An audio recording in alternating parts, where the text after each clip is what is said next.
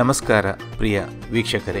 Expo twenty twenty ದುಬಾಯಿಯಲ್ಲಿ ಆರು ತಿಂಗಳುಗಳ ಕಾಲ ವಿಶ್ವದಾದ್ಯಂತ ಪ್ರವಾಸಿಗರು ಭೇಟಿ ನೀಡಿದ್ದಾರೆ. ನೂರ ತೊಂಬತ್ತೊಂದು ದೇಶಗಳ ಇನ್ನೂರು ಪೆವಲಿನ್ಗಳು ಹದಿನೈದು ಮಿಲಿಯನ್ಗಿಂತಲೂ ಹೆಚ್ಚು ಪ್ರವಾಸಿಗರು ಭೇಟಿ ನೀಡಿದ್ದಾರೆ.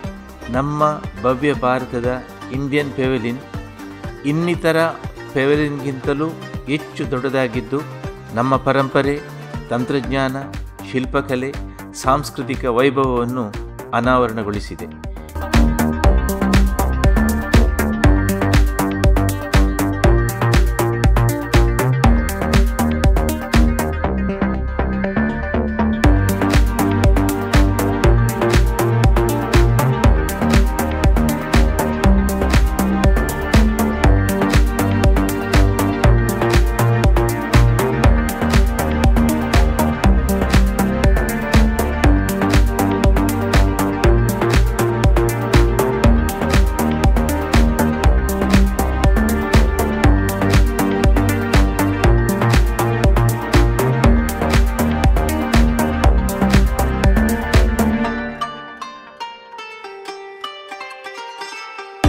ಈ ಆಕರ್ಷಕ ಮಿನಿಯೇಚರ್ ಮಾದರಿ ಶಿಲ್ಪಗಳ ಸಾಲಿನಲ್ಲಿ, ಹೊರಾಂಗಣದಲ್ಲಿ, ಸ್ವಯಂಚಾಲಿತ ತಂತ್ರಜ್ಞಾನದಲ್ಲಿ, ರೋಬೋಟ್ ಟೆಕ್ನಾಲಜಿಯಲ್ಲಿ ನಿರ್ಮಾಣದ ನೈಜ ಅಳತೆಯ ಗಜರಾಜನ ಮಾದರಿ ಸರ್ವರ ಗಮನ ಸೆಳೆಯುತ್ತಿದೆ.